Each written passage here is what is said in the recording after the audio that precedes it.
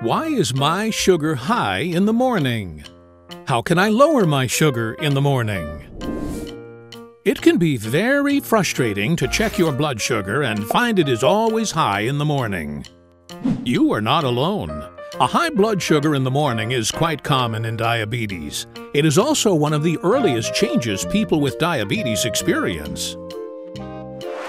To understand why blood sugars might be higher in the morning, we first need to review the hormones that regulate blood sugar. The two main hormones involved in blood sugar control are insulin and glucagon. Insulin lowers sugar in the blood by pushing it into the cell so it can be used or stored. Glucagon does the opposite of insulin. It frees sugar from its stored form in the liver so the body can use it while you are sleeping or between meals. Common reasons your blood sugar can be elevated in the morning. The first blood sugar check of the day should be done after fasting. Fasting means having nothing to eat or drink except water for at least 8 hours before the test. As an example, if you last ate a snack at 10 p.m., your true fasting glucose would not be until 6 a.m. the following morning. Insulin resistance in the liver. Insulin resistance means that the insulin the pancreas produces does not work well anymore even though the pancreas is working overtime to produce more of it.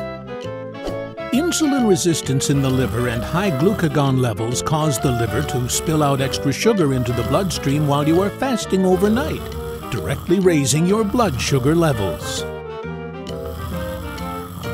The Dawn Phenomenon Several hours before you wake in the morning, it is normal to have higher levels of cortisol and growth hormone, both of these hormones help prepare you to wake up and start the day. This hormone surge, called the dawn phenomenon, occurs naturally between 2 a.m. and 8 a.m., whether or not you have diabetes. In patients with diabetes, the dawn phenomenon is more noticeable and leads to high sugars because of both insulin resistance and decreased levels of available insulin. High blood sugar the night before. A high blood sugar in the morning can often be left over from the night before. If the pancreas cannot secrete enough insulin after a large carbohydrate load at dinner or bedtime snack, blood sugars can stay elevated during the night and into the following morning. The Somogyi effect, a low blood sugar overnight. Some medications for diabetes, such as insulin and a group of pills called sulfonylureas, can cause blood sugars to crash while you are sleeping. The Somogyi effect occurs when the body responds to dangerously low blood sugar overnight by secreting stress hormones like glucagon and epinephrine. These hormones help rescue you from low blood sugar, causing the sugar to rebound and be high by the morning. How can I lower my blood sugar in the morning? 1. Diet. Keep carbohydrate intake low at dinner. Having a bigger lunch, a smaller dinner, and skipping the bedtime snack can often improve your morning blood sugar level. 2. Exercise. A safe exercise plan can greatly lower all blood sugar levels by increasing sugar uptake by the muscle lowering the amount of sugar in the blood for many hours after the activity. 3. Drink plenty of water. Sugar always travels with water, so it is important to keep up with the body's need for fresh water to balance the blood sugar.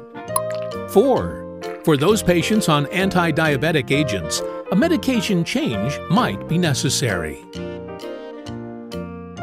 If you are prescribed metformin, moving the timing of the second dose closer to bedtime might help decrease the amount of sugar released from the liver overnight.